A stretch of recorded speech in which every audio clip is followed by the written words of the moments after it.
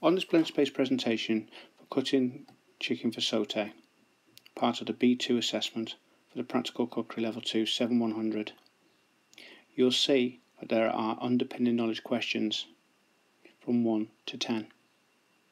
Each question asks you to describe each of the following. For example, on question 2, can you describe each of the following traditional cuts from a chicken? Cut for saute, supreme, Kiev, escallop and spatchcock. Each question has one mark. These have been put on here for you to practice. These questions are part of your assessment to get your full qualification. Good luck.